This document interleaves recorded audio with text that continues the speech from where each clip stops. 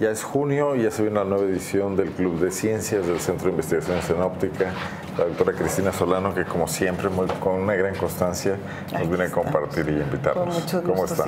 Muy bien, muy bien, muchas gracias. ¿Cómo ve este calorón que está haciendo? ¿Normal o no? No, completamente anormal. Sí, ¿verdad? No, habíamos llegado a ustedes la intensidad de los rayos solares? No, no, nosotros no estamos dedicados Porque aparte del calor que sentimos, hay ultravioleta y Ah, sí, exacto. Eso es un poquito más alarmante. Ya no sé qué el tema, pero, pero me preocupaba. No, no, pero es que sí es lo alarmante, lo que llaman índice de radiación solar, que a mí me preocupa que se llame así, debería decir índice de radiación ultravioleta, porque las personas no están conscientes de la cantidad de ultravioleta que estaban recibiendo.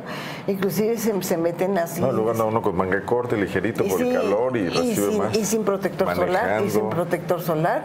Entonces, en realidad ha habido unos índices tan altos que en realidad lo máximo que se podría estar en horas pico serían 15, 20 minutos. Y yo creo que las la personas... gente camina por ahí y dura más al sol. Entonces es algo que sí está de preocuparse y no hay esa conciencia. Por eso digo, hasta el nombre me preocupa porque no hablan de ultravioleta.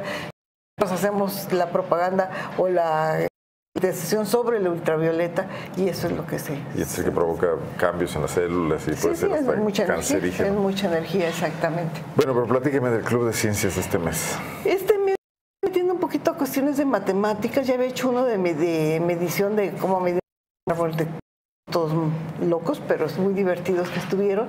Y esta vez quiero, bueno, enseñarles a los niños medir correctamente, porque de repente ponen eh, algo y este, una regla, pero le ponen la regla toda mal, toda chueca y creen que las medidas están correctas. Y ese es un error que cometen hasta los adultos. Entonces quiero un poquito enseñarles un poquito a medir y luego que midan sus alturas. Es una disciplina, ahora yo me enteré otro día que se llama metrología. Metrología, claro. La industria es muy importante. Es demasiado importante, es muy, o sea, para nosotros hay metrología óptica, nosotros podemos medir con luz, pero de todas maneras es medir de, muchas formas, pero es muy importante hacerlo. Entonces lo que quiero es que midan sus alturas, pero luego comparar sus alturas en, en cuanto a proporciones, entonces que tengan una conciencia de que, bueno, estoy de tanto alto, pero estoy proporcionado porque mi cabeza tiene que tener tantas proporciones con, respecto a mi cuerpo. Pero no hay un patrón, ¿sí? Sí, sí Todos los humanos somos un poco distintos, ¿no? No, sí, pero hay de, digamos, de 6 a 7 eh, veces el tamaño de tu cabeza, de 6 a 8 es, es tu altura.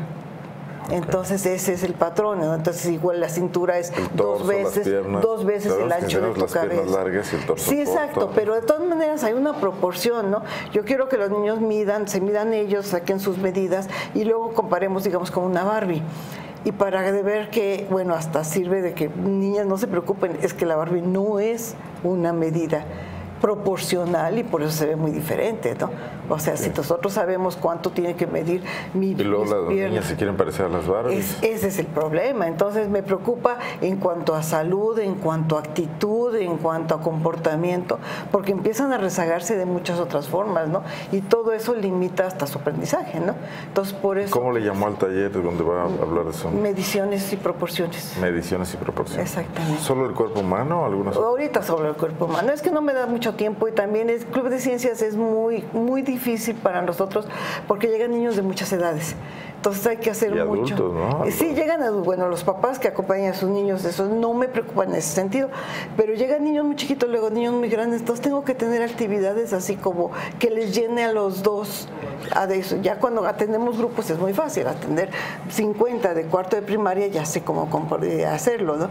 Pero es, este es muy variado y es, es difícil, pero de todas maneras me divierto mucho. Es una clientela ya más fija la que va a los jueves de ciencia, regresan mucho, pero le caen nuevos, nuevos clientes. Sí, normalmente es que inclusive se van saliendo de niños que llegan dos, tres años, de repente por la primera comunión tienen la, el catecismo y ya dejan de ir, o, o entran al fútbol y ya dejan y luego regresan. O sea, es, es una clientela muy variable. ¿no? le compite a la ciencia. Sí, exactamente lo que Y me decía la otra vez que sí ha habido, usted ha detectado que niños que asisten a esto, eh, a la vuelta de los años han desarrollado una vocación científica. Sí, eh, tengo, ahorita eh, detectados muy bien, son tres muchachos que empezaron conmigo a los cinco años y ahorita ya están en la facultad de, estudiando física. Quienes nunca han asistido a un club de ciencia y tienen pequeños, ¿de qué edad pueden ser más De cinco en adelante. Cinco años De en adelante en quieran adelante. darse una vuelta, hay que darles los datos, ¿no? Sí, exactamente, en el Centro de Investigaciones en Óptica, es Loma del Bosque 115, y este, a las cuatro y media los esperamos, hoy. Todos los jueves. El primer jueves de, mes. cada mes, jueves exactamente. Hoy es, siempre vengo antes, pero ahora vine el mero jueves. Hoy es hoy. Pues aquí los hoy, hoy- esperamos. hoy va a ser el Club de. Exactamente. ¿No suspende por vacaciones en Pues estoy tratando que no, porque en realidad las vacaciones de nosotros son la segunda quincena de julio, entonces estoy esperando no, Cae no suspender, no Muy suspender, bien. sí, Bueno, exactamente. pues me- mediciones y proporciones, el Mediciones tema y de hoy, para, para entrar por las matemáticas, aspectos de la física y de la propia vida cotidiana, que también es, es como Exactamente, usted está trata muy de... ligado a todo, está muy ligado a todo, ¿no? Y están niños que tienen que incorporar las matemáticas a todo, ¿no? Estaban diciendo que muchachos hasta de preparatoria no saben restar.